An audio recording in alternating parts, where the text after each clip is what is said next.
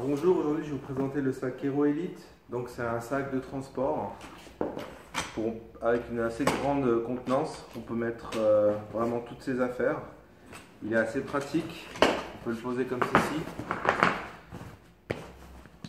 Avec un système de bouclage ici pour, euh, pouvoir euh, centrer et serrer les affaires. Très pratique également, on a une place pour pouvoir ranger les chaussures.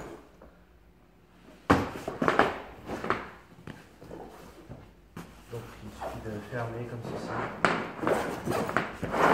On a des pieds avec une protection dessous pour pouvoir relever et le transporter partout.